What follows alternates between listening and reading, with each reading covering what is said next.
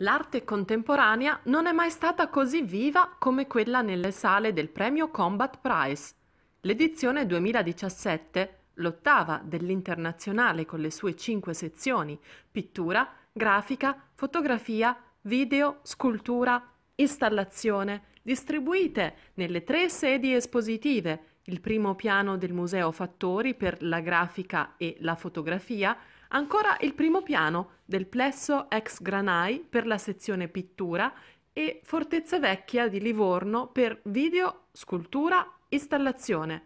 Ha visto un totale di 80 opere selezionate per il Giro di Boa addirittura d'arrivo.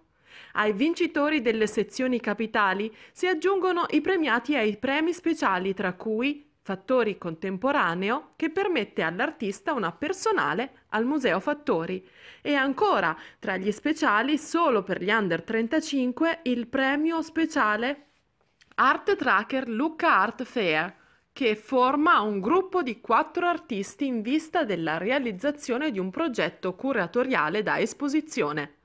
Gremita la Sala degli Specchi di Villa Mimbelli, il tavolo della giuria in piedi ha chiamato a ripetizione a ritirare le targhe e pergamene di Combat Prize 2017.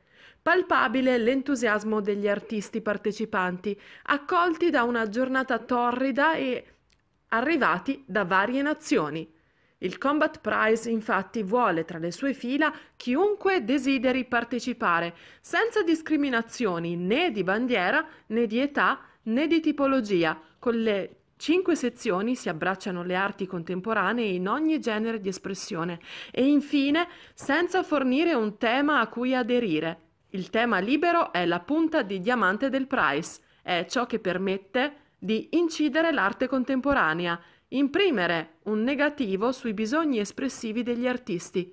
Con Combat Prize siamo all'assalto della scena internazionale.